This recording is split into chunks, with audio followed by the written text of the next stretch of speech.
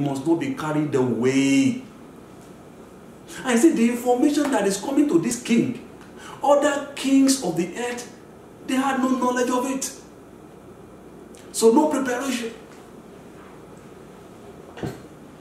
Since there was no preparation, since there is no knowledge of anything of what is about to happen, so no decision, no nothing. Everybody was living their life as if everything was normal until when everybody was caught in the ticket. After the seven year of plenty, then there comes the seven years of famine. And that seven years of famine ate up everything, and everywhere looked as if we did not even have a time called boom. But thank God there was somebody in the realm of you, the man called Joseph. He was able to interpret and say, Sir, there's going to be boom for seven years, but I want to advise you set a man that is discreet the man that is wise set him over the land of Egypt and he told him what to do. Let them begin to set aside and all the rest like that. Let them save, you know, 20% of whatsoever that comes in, you know, in the year of plenty so that afterwards we cannot begin to use that one to take care of the people. And look at what happened in verse 13. And Pharaoh said unto Joseph, You have given a very good counsel, for as much as God had showed thee all this, there is none so discreet and wise as thou art. What happens? He told him, You are the right man. Take over. And that's why he told us that you see, when you have understanding of the time, it's going to give you an edge over others in decision making. Oh, the magicians, the astrologers, all of them being consulted before this young guy. He was not even there when the king was calling all these people. They couldn't provide any solution. But he was just called up and, and all of a sudden he interpreted what he interpreted the times and he said what should be done. So that they will not be caught in the ticket. And what happens? The assignment was handed over to him. Very important. We're going to be praying very shortly. There is something you need to understand right now so that it will help your decision making, so that it will help you to prepare, so that it will, it it will put you at an advantage to be of help to the people you know in your circle of influence. There are some decisions that if you don't make it, so many people will suffer. And I want to tell you, you can't afford that as a father, you can't afford that as a mother. I can afford it as a pastor. And you can't afford it as a leader in your organization. So many things will break down if you don't understand the time. Thank God for economics. Thank God, you know, for the stock exchange. Thank God for, you know, checking, you know, the ups and downs of the stock and all the rest like that. But do you know what can happen the next minute? Who will have thought that coronavirus will shut everything down? And so many people have lost so much in the stock market now. I pray that they will recover in the mighty name of Jesus. Amen. So what are we talking about? Very important. You see, we are all in a time when interpretation is needed.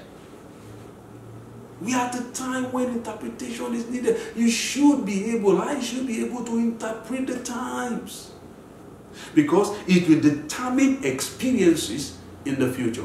If we cannot discern, if we cannot interpret accurately by the grace of God, because of our connection to the Almighty God, crying to Him to help us to be able to accurately understand the time that we are in, it will affect our experiences in the future. That's the reason why you see that Joseph in the realm of um, Pharaoh was a blessing. Daniel, in the realm of Nebuchadnezzar and some other kings after him, was a blessing because he had understanding of the time and what should be done. And when they just meet out what should be done, and they just went ahead to carry out what should be done, you discovered that the future was actually secured. It shall be well with us in the mighty name of Jesus, just in the way to get us ready for next week. Because next week we'll be looking at what time is it.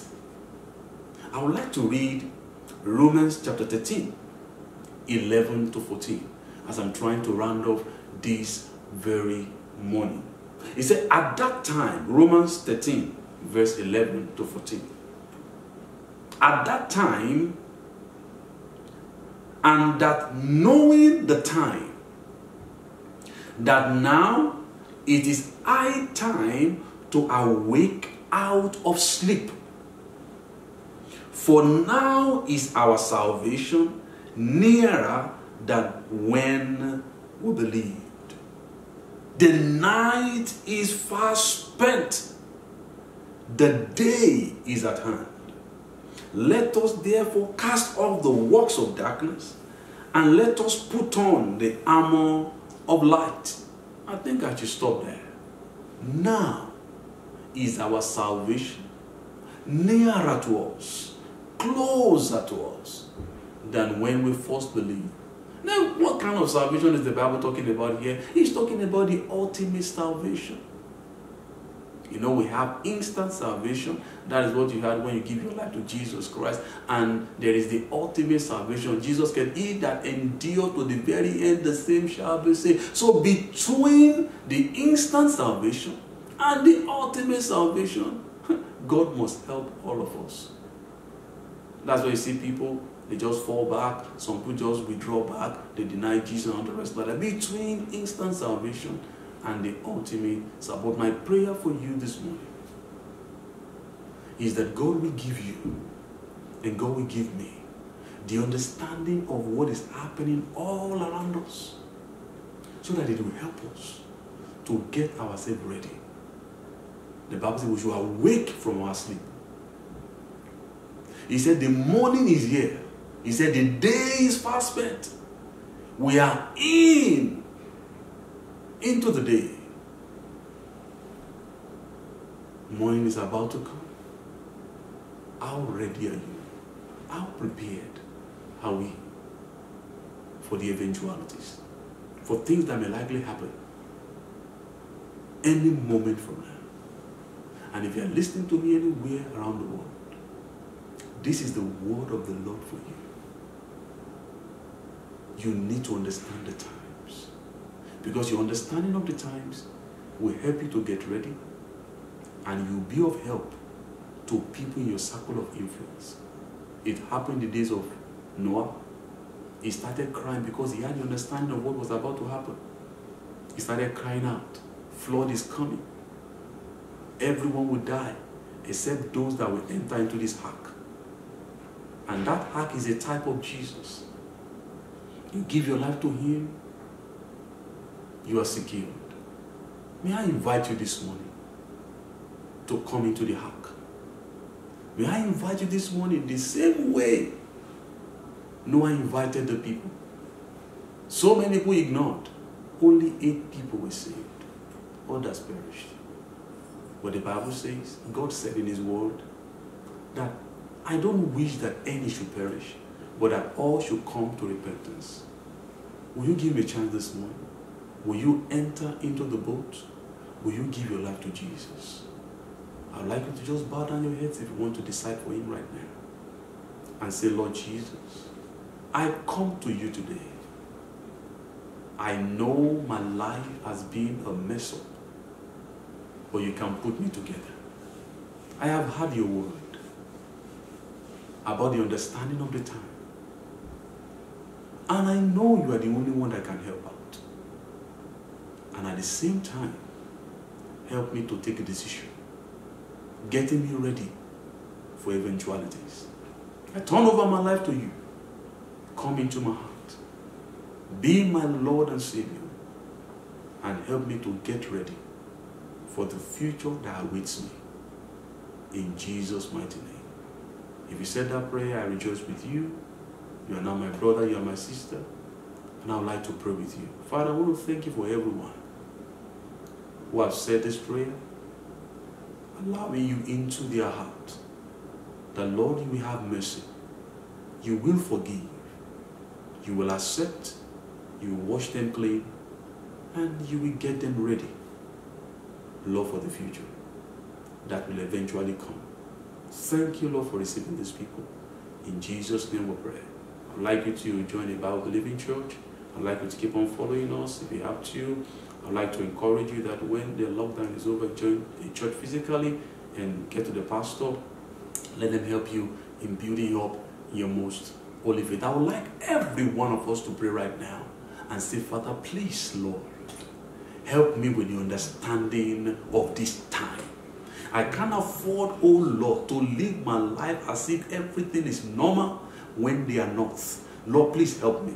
Help me, my Lord and my God. Help me Help me, Lord, to understand the time. I want to be another Lord man in the tribe of Issachar that understand what Israel ought to do. Lord Jesus, I want to be of great help, Lord, to people in the circle of my influence. I want to have an edge, Lord Jesus, in decision making, Lord, over others. I need you to help me to have this understanding of the time. I want to be ready. I want. I don't want to be caught unawares. Please help me, Lord. Please help me, Lord. Give me understanding of the time. Give me understanding of this time in the name of Jesus. I know these are not usual times. I know things are happening around me now and I need to know them all. Lord, I know things will eventually happen after this time and you need to help me. Lord God in heaven, just as David, as Joseph said, it is not in me. He said it's in God. I know it's in you, Lord. The understanding of time is in you, but you can pour it into me. Lord, I cry to you, Lord, in the name of Jesus, so that I will be helped in the name of Jesus and I can be of help to people around me. Please help me to understand, Lord, the times in the name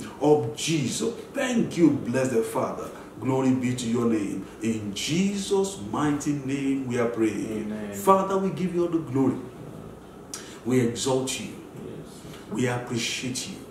You have spoken to us that if we understand the time, we'll be able to put things in right perspective.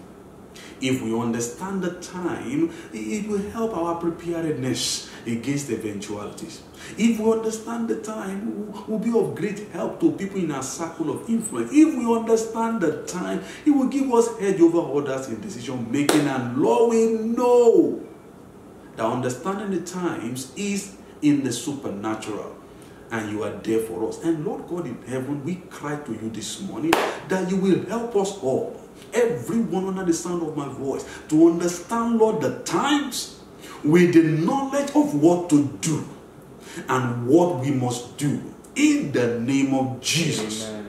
I pray over you as you go this week, the presence of the Lord go with you Amen. in the name of Jesus. Amen. Enter into this new week with the understanding of times in the name of Jesus and the knowledge of what you must do in the name of Jesus. You will not be caught unawares in the name of Jesus. Everything will work together for your good in the name of Jesus. And above all, I pray in the name of Jesus that the coming of Jesus the second time will not catch you and I unawares, unprepared in the name of Jesus. Thank you, blessed Father. Glory be to your name. In Jesus' exalted name, we are praying. Let somebody shout hallelujah. The Lord bless you. The Lord take good care of you. I look forward to seeing you next week. We're trusting God that the lockdown will soon be over and we'll be able to meet physically again. God bless you. Have a good uh, day and a week ahead in Jesus' mighty name. Amen. Amen.